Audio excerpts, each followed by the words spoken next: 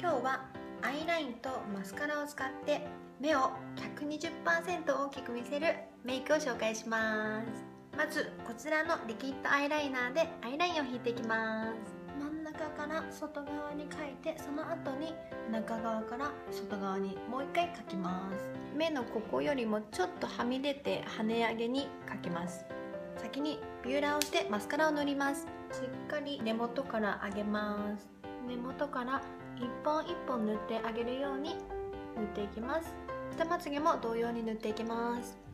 私が使ってるマスカラはこちらのマジョリカマジョルカのマスカラです。コームタイプですごく塗りやすいです。このようにインラインを引いていきます。まつげの間を埋めるように塗っていきます。ビューラーをした時に落ちてしまった上のアイラインもバランスを見ながら整えていきます。完成です。こちらが左です。右です。目の大きさが全然違います。私はいつもこのようなメイクで目を大きく見せてます。